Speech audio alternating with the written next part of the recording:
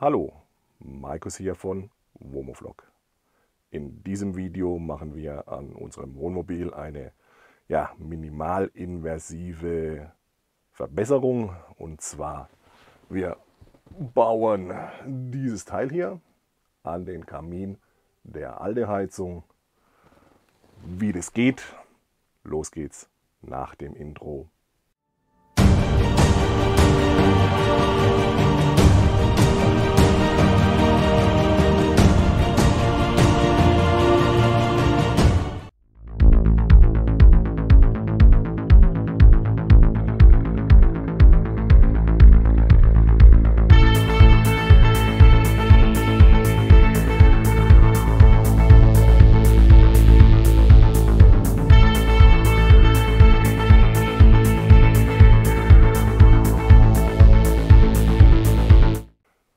Ja, kurz bevor wir das Ganze draußen anbauen, warum baue ich es an? Viele von euch kennen das.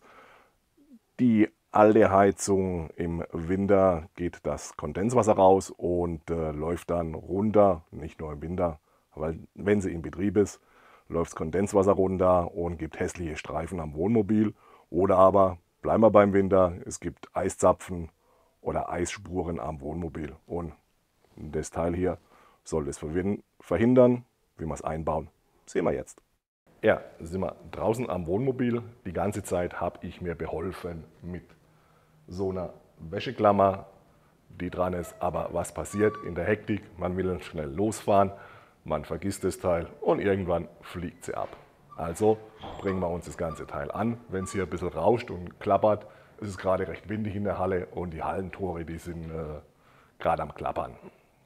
Eins muss ich noch vorausschicken, ich verlinke euch dieses Teil, was ich jetzt dann einbaue, unten in der Videobeschreibung. Das Teil ist selber gekauft und nicht gesponsert.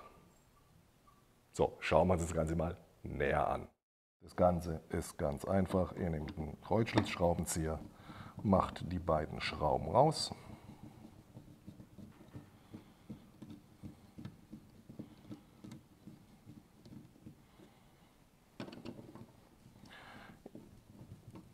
Ihr müsst die beiden Schrauben nicht mal ganz rausschrauben.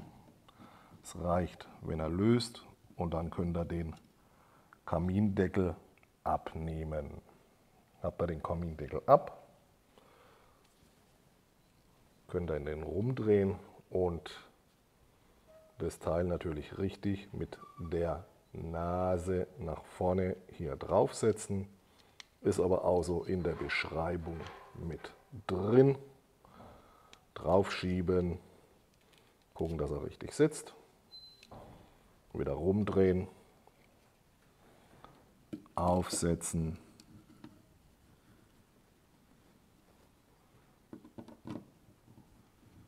wieder anschrauben.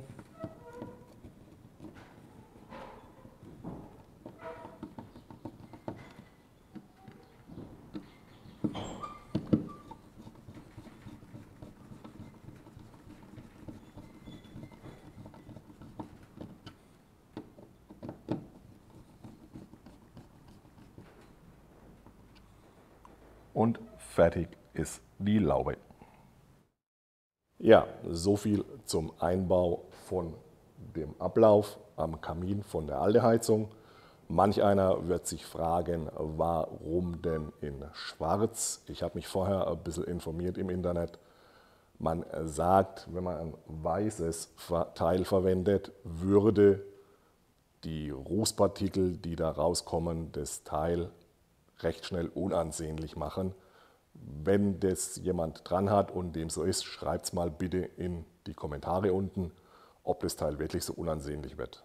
Wenn nämlich nicht, würde ich es vielleicht tauschen, weil wir wollten eigentlich auch ein weißes Teil haben. Ja, so viel zu dem Video. Wenn dir das Video gefallen hat, lass mir gerne einen Daumen nach oben da.